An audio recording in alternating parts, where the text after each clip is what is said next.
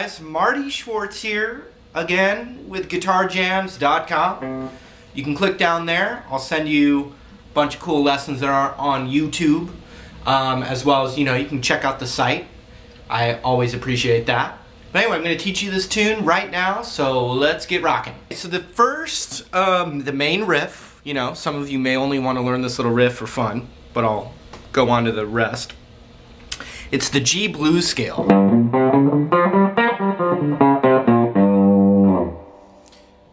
And what we're going to start is the fifth tone of the scale, or the fifth of the of the root.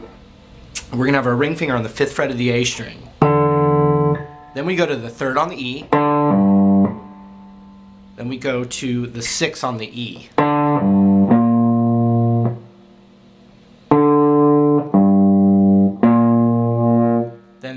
on the A.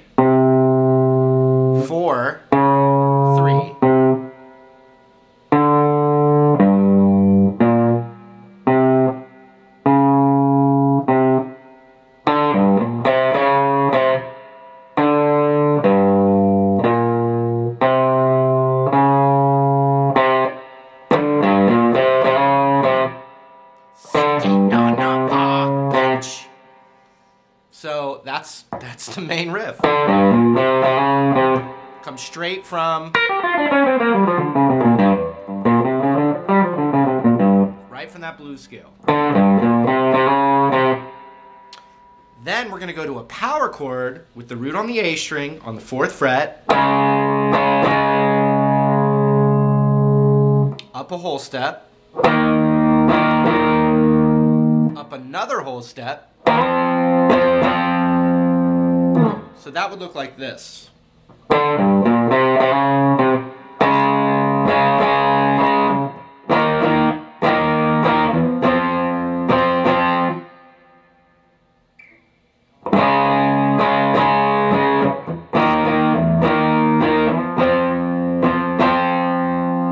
we're gonna go six, six and eight on the A string. Just six, eight, six, eight, nine. Six, eight, six, eight, nine. Then nine on the E string. Check out that little riff. It's weird. It's not hard, but it's strange.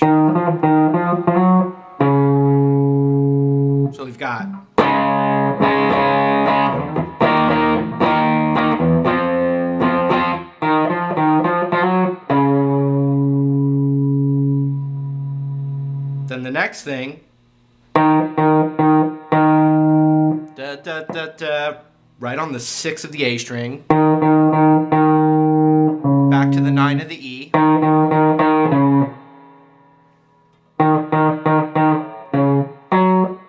To the nine on the A.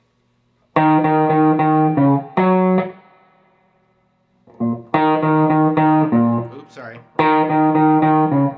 You could use your ring finger instead of your pinky if you want. That's up to you. Some guys do that. And then the next thing, we're gonna hit this note again. We're on the ninth of the A. We're gonna go to seven on the A, seven on the E, then ten on the E. Check that out. So all together from uh, the whole thing, I'll do it really slow.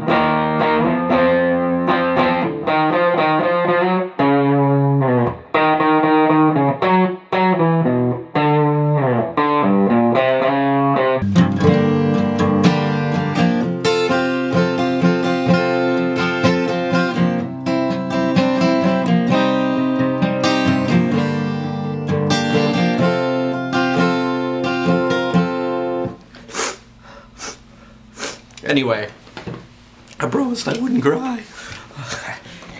Here's the little breakdown part, the little, the little acoustic part. It gets sensitive. Capo's on the third fret. That's what Ian Anderson.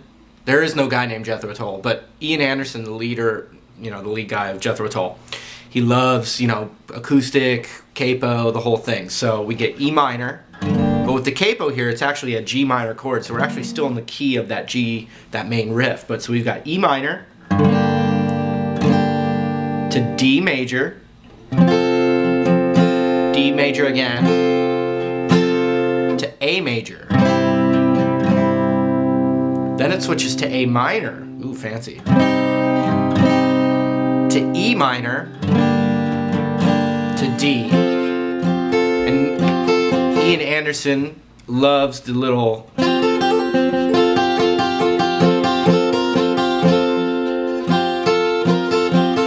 taking the middle finger off and adding it. And with the A major you can do the same thing with the ring finger. And you can add your pinky on the B string a half step higher. So here we go. I'll say the chords. E minor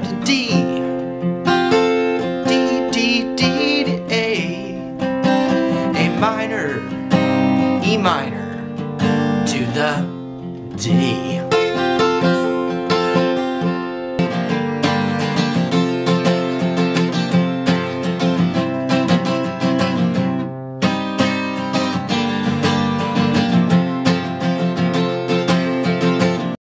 Alright, so if those chords were to translate on electric without uh, the capo and without the acoustic, it would be a G minor bar chord F major, so middle finger goes down, stays there, to C,